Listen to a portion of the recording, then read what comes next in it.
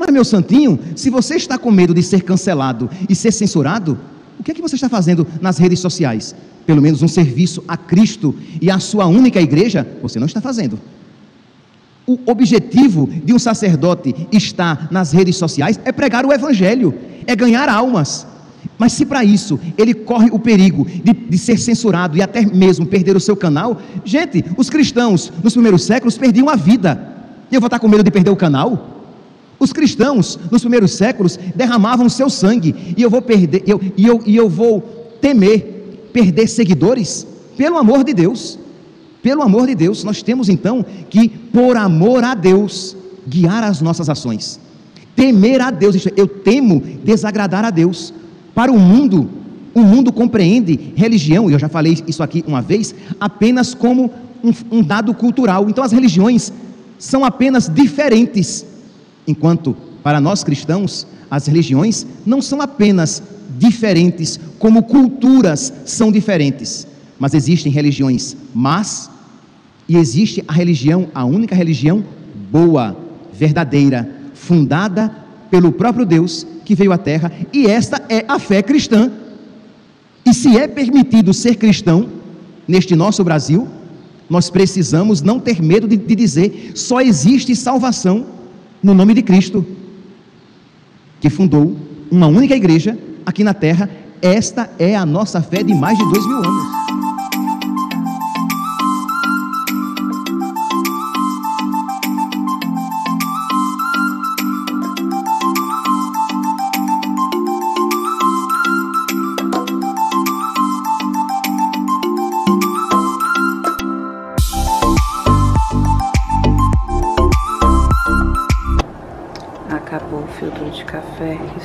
Agora eu me dei conta disso. Fiz uma improvisação aqui de papel toalha. Já tinha feito isso outras vezes e quase sempre dá certo. Vamos ver se agora vai. Tem vezes que não dá também não.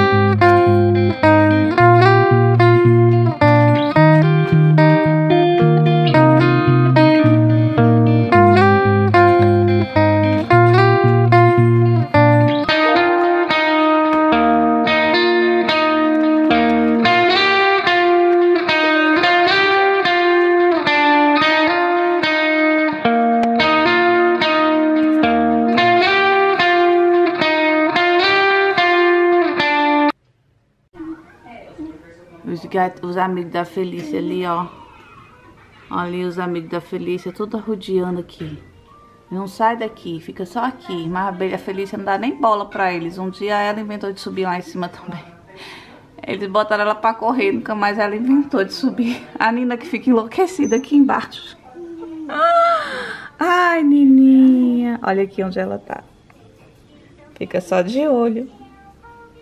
Né, Felícia? É seu amigo? É bonito. Tem bonito, gente. Vai pra sua casa aqui, não é sua residência. Não é sua residência aqui. Não é sua casa. Cadê o outro preto? Hum. Tchau. O que que Tete tá comendo? Manhã. Manhã, mãe. Dia, amores da minha vida! Segunda-feira que o Espírito Santo venha iluminar a nossa semana, o nosso dia. A nossa semana que começou ontem, onde? A la missa, né? e que a gente possa deixar, né? Falar Espírito Santo, gente, eu tenho um papo maravilhoso para ter com vocês, ou aqui ou lá no outro canal, sobre o Espírito Santo, sobre pecado contra o Espírito Santo, que é o único pecado que não é perdoado, né? Ontem a Ládia Vasconcelos compartilhou comigo e com outras pessoas uma matéria super completa que faz a gente entender direitinho o que é este, estes pecados contra o Espírito Santo, que na verdade são seis, que são os pecados que realmente não tem perdão. Até as blasfêmias cometidas contra ele, né, serão perdoadas, né, podem ser perdoadas, mas o pe pecado contra o Espírito Santo Ó minha boca. Tem uma novidade também, gente. Eu tô tão feliz, tão contente, tão grata a Deus, porque essa partezinha aqui está voltando. Eu faço assim agora e já sinto um pouquinho. Já sinto passando a mão. Antes isso aqui era uma pedra de gelo, assim, sabe? Eu podia... Ai, não pode mais. Agora tá sensível, sabe? Porque tá tipo voltando. E se eu bato, porque na verdade é esse quadrado aqui inteiro, incluindo a gengiva lá dentro, a parte de dentro também. Antigamente era uma pedra de gelo, eu podia bater, dar soco, podia passar coisa que eu não sentia nada, nada. Inclusive aqui a parte dos dentes, da gengiva, aqui por dentro tudo. Agora eu já sinto, né? Já sinto assim, não é igual aqui, não é igual aqui. Mas eu já tenho uma sensibilidade voltando aqui. E quando eu faço assim, dá uma dorzinha, tipo de dor de dente na, na, na... Quando a gente começa a ter dor de dente, lá na gengiva. Ó, tá vendo? É sinal que tá voltando. Viva! Glória a Deus, glória a Deus, glória ao meu Senhor. Gente, é isso. O que, que eu vou fazer agora? Bom, hoje é segunda-feira, já acordei, já fiz meu café ali daquele jeito que vocês viram, que não tinha coador. Eu fui dar o meu se vira nos 30 ali com um papel toalha, que de vez em quando dá certo, só que hoje deu, deu. A gente tá tomando café, a gente não ficou sem café não. Mas deu uma vazada, deu uma sujada ali, fiz uma bagunça básica. Mas a gente tomou café, tá? Já limpei a minha casa também. Ah, são nove horas, nove alguma coisinha agora. Eu vou editar o meu videozinho que eu gravei dos meus vasinhos agora. Eu gravei no sábado. E eu já resolvi também o problema, porque tava faltando dois, né? Então eu mandei mensagem pro vendedor e tal, e eles vão me devolver a, a diferença em Pix. Eu tive, tive duas opções, eles me deram, eu amei. Ou se eu fosse comprar ou Pix, né, a diferença dos dois vasos pelo Pix, ou Uh, eles me mandariam os dois vasos em uma próxima compra que eu fizesse. Mas como eu não vou comprar nada por agora lá, né? Tá, acho que tá bom de vaso por enquanto.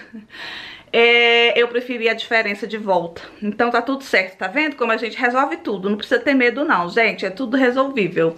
Tá joia? Então tá bom. Eu vou editar meu vídeo e depois eu chamo vocês. Beijinho. E a gente tá percebendo isso, né? Uma frustração muito grande. Natal é alegria. Primeira vela do advento, esperança. A segunda, alegria. A terceira, o espírito de sacrifício. Alimentados por um cordeiro que será imolado por nós. Esperança leva alegria. alegria leva a uma entrega autêntica de vida e essa entrega traz a paz. A quarta vela do advento é a paz. Mas como que nós vamos chegar na paz? me conquistou, a tua graça me alcançou.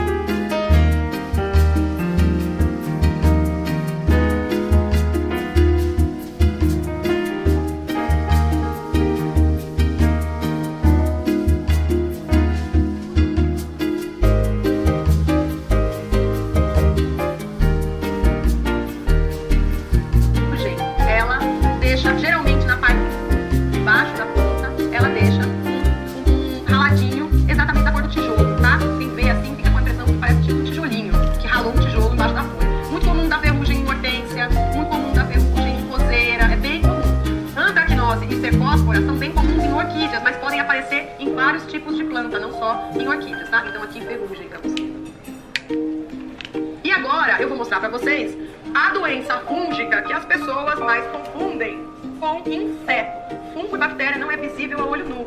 Fungo e bactéria.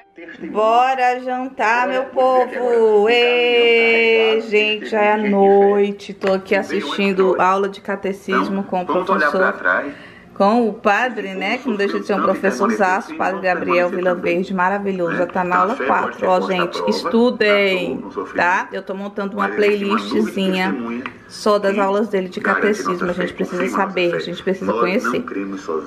E aí, deixa eu virar pra mim um pouquinho. Meu caderninho tá ali, vocês viram aí que eu tava estudando, né? Hoje eu vi. Oi! Comeu tudo? Mamãe já vai aí sentar com você pra papar também, tá? Fiz duas aulas hoje, porque sábado eu não fiz nenhuma. Domingo eu não fiz, nem vou fazer, né? Domingo ninguém merece, né, gente? E pra dar uma adiantada no processo, porque vocês sabem que o curso é bem grande, né? Então, sempre tem um dia que a gente vê menos ou não vê nenhuma, sempre rola, né? Nossa vida é corrida, dona de casa, mãe mesmo. E hoje deu pra, pra ver duas, então fiz, fechei um, um bloco, é bloco? Acho que é bloco mesmo hoje, que é o Rebrota. Aí agora tem uns bônus pra fazer, que é um monte de aula também. O bom é que isso, uma coisa vai emendando na outra, sabe? De uma coisa tem um monte de bônus, um monte de outras aulas, tipo de dica de iluminação, dica de um monte de coisa. Mas, nossa, gente, meu caderninho tá ficando cheio só desse começo. Olha o que, que Dona Teté fez aqui, gente. Olha isso que, que Dona Teté fez. O meu caderninho está ficando bem cheinho. Olha só quanta coisa que eu já escrevi aqui. Olha! Hoje a aula foi sobre as duas, né? Que eu já fiz duas. Hoje foi a aula 5, seres, seres benéficos, amigos da planta que tem muita coisa que a gente considera praga que não é. Aprendi super Sabe aquela tesourinha que a gente morre de medo de morder a gente, picar criança? Eu mato várias, gente. Elas são nossas amigas. São amigas das plantas e a gente mata as bichinhas. Elas são predadoras, elas comem aquilo que nos fazem mal e protegem as plantas. Tipo, se tem algum bichinho, pulgão, com, chi, com chinilha, como é que... Como é que é o nome do, do, do negócio lá da, da, da, que dá na planta? É pulgão e... É cochinilha mesmo, né? Acho que é cochinilha o nome, gente. Esqueci. Ela vai lá e come a bichinha. Deixa eu ver só ver o nome dela aqui. Acho que é cochinilha mesmo. Eu escrevi de vermelhinho até. Você acredita nisso? Eu sempre mato. Aquela aranha também. É cox, cochonilhas coxinilhas que eu tinha, cochonilhas, que é a branquinha e o pulgão tem de várias cores. Coxinilha também tem de várias cores. Estamos estudando isso. Quer dizer, fechamos essa parte hoje, mas ainda tem os bônus, né? Muito legal que eu fiquei sabendo, pardal, que muitas vezes a gente fala que é um bicho que traz doença, que é sujo, que não sei o que. Aqui muitas vezes o Hilbert morre de raiva quando aparecia pardal, quando ele tinha os passarinhos dele, quando ele criava ali os periquitinhos dele. Sempre vinha pardalzinho pra comer o alpistinho que caía ali. Ele é super bonzinho, o bichinho, gente. Eles comem as lagartas, ele que das plantas, quem tem jardim aí em casa. Então muitas vezes a gente, as joaninhas são ótimas amigas. Então muitas vezes a gente mata aquilo que faz bem pra gente que muitas vezes combate aquele problema que está surgindo na sua horta, no seu jardim, achando que aquilo é um problema e não é. Sabe? é impressionante. Aprendi um monte, viu, Davi? Aquela aranha cheia de olhinho não é pra matar, aquela é ótima. Aprendi um monte hoje. E agora, eu vou aí, eu já limpei a casa, fui buscar, teve uma chuva, choveu acho que umas três vezes hoje ou mais. Uma chuva que eu fui buscar Davi, Davi veio pra casa, me desencontrei com Davi no meio do temporal. Fiquei na porta da escola esperando ele sair, mas ele já tava em casa, uma loucura. Mas deu tudo certo no final. Estamos todos em casa. E aí, minha bateria tá acabando. Vim dar boa noite pra vocês. Amanhã eu continuo gravando. Vou papar agora, já deve estar tá esfriando. Fiz aqui um mexidão de ovo com cenoura, mandioca, uma saladinha. E vou continuar aqui o meu minha, minha catequese, tá bom? Até amanhã. Beijinho.